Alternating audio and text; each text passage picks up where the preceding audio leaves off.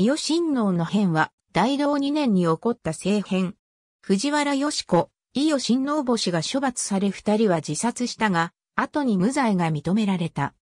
桓武天皇の第三王子である伊予親王は、父、桓武の生前深い寵愛を受けていた一方、外王子の藤原武ともは大納言として、右大臣、藤原内麻呂に次ぐ体格の自責の位置にあり、政治的にも有力な地位にあった。実際に、平城朝においても、大道元年から中塚左京県田在卒を務めて、皇族の重鎮となっていた。兄の平城天皇とも良好な関係を保っており、大道2年5月には、上泉園に行幸した平城天皇に対して見物を行い、終日宴会にも参加している。ところが、同年10月に、藤原宗成が、伊予親王に謀反を進めているという情報を、藤原武ともが察知し、これを右大臣、藤原内麻呂に報告する。一方、伊予親王も宗成にそそのかされた経緯を、平城天皇に報告する。そこで朝廷が宗成を尋問したところ、宗成は、伊予親王こそ、謀反の首謀者だと自白した。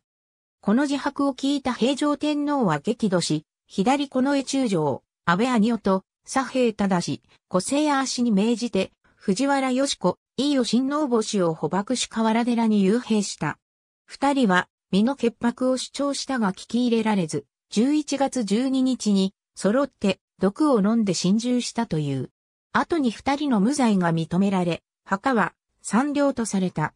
この事件で宗成は、流刑となり、伊予親王の外籍にあたる藤原武ともも連座して、伊予国へ流罪に処された。また、この事件の煽りを受けて、中納言、藤原津明が解任された。